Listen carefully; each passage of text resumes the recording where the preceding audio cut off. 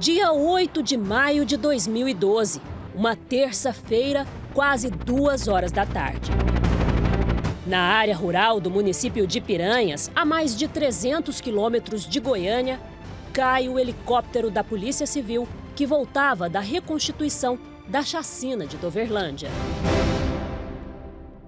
Oito pessoas estavam na aeronave, sendo cinco delegados, dois peritos e o autor da chacina. Começava aí um trabalho detalhado de investigação de uma das maiores tragédias já acontecidas no estado de Goiás.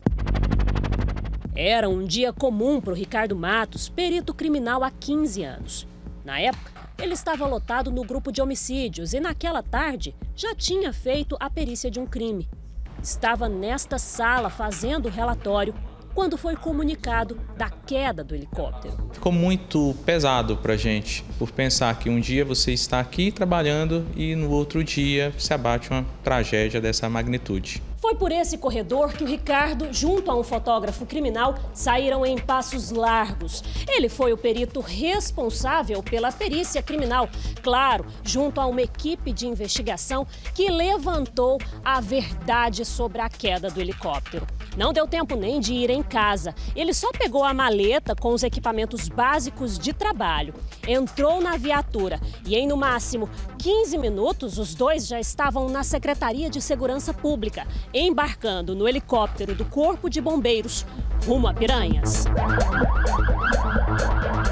Ricardo também participou de perícias fundamentais para o desfecho de outros casos que ficaram para a história. Dentre eles, algumas das vítimas do serial killer que atuou aqui em Goiânia há alguns anos. Então, à época, atuamos em parceria, ou mediante requisição da Delegacia de Homicídios, e foi possível, felizmente, chegar a uma resposta, junto, claro, com os colegas delegados, agentes, escrivães e outros peritos, a resposta que resultou na prisão e condenações várias do Tiago. Peritos são heróis em outras áreas também, seja ali na cena do crime ou na análise de um DNA. Tudo é peça-chave na finalização de um inquérito. Essas ossadas, quando elas chegam aqui, a primeira coisa que a gente precisa saber é se efetivamente tratam-se de pessoas, se são humanas. Então, é, a análise inicial vai querer procurar dizer são ossadas humanas, a partir do momento que sabe que são ossadas humanas, começa o exame antropológico. É pura técnica e traz as respostas que dão força ao inquérito policial. Muitas vezes é aqui, no Instituto de Criminalística, que se derruba a versão mentirosa de um criminoso.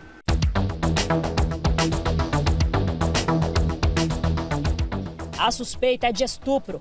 A calcinha de uma criança é analisada nos mínimos detalhes. A luz forte e azul permite enxergar fluidos biológicos. A perita corta um pedaço de onde encontrou vestígios e joga água para tirar do tecido o material a ser analisado. Tudo é separado em tubos. Através desse líquido, são feitos dois testes: a pesquisa de espermatozoides e o PSA. O PSA é uma proteína presente no sêmen e ele é usado né, em casos criminais para identificar nas peças se existe ali sêmen ou não. Neste caso, especificamente, o resultado deu positivo. Nesta sala, mais equipamentos de ponta. Aqui dentro é feito o início do exame de DNA de qualquer objeto encontrado na cena de um crime.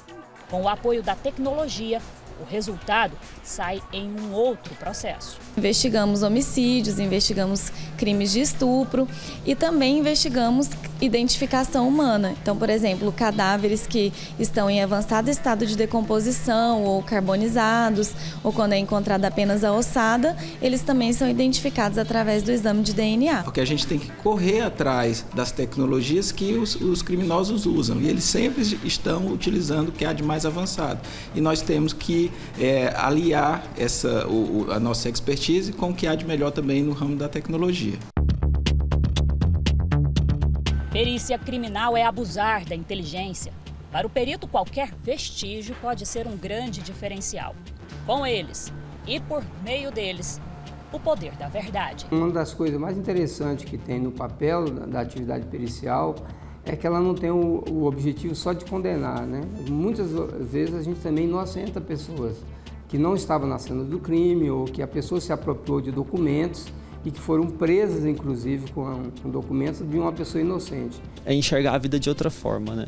Porque a gente também trabalha muito com a tristeza, então eu acredito que a gente acaba valorizando mais a vida tanto quanto, tanto quanto a nossa, quanto a do próximo também. Quando nós é, enxergamos que podemos atuar, que podemos participar para que essa justiça seja feita, isso é muito gratificante. Isso faz valer a pena vestir esse uniforme e estar aqui todo dia trabalhando em prol da sociedade.